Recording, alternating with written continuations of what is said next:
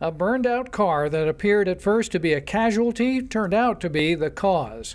41 year old Roger Garrett of Port St. John faces charges in connection with trying to burn his car to get the insurance money. Count one is a second degree felony, arson in the second degree.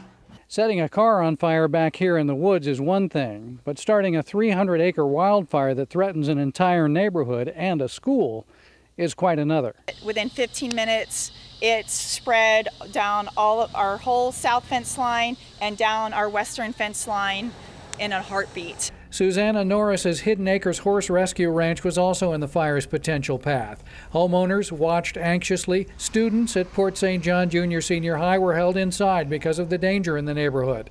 It took investigators about six months to unravel the alleged insurance plot. They say social media photos showed the burning car and revealed that Garrett bragged he stopped, poured gasoline on the vehicle, left the doors open, and set the vehicle on fire. His downfall came when, according to an arrest warrant affidavit, he bragged about it to girlfriends. He definitely needs to be held accountable for his actions, and I mean, you know, he put us and many others in a bad situation. Garrett faces nine different charges and may have to pay back $19,000 in firefighting costs. He is presumed innocent. In Port St. John, Brevard County, Dan Billow, WESH 2 News.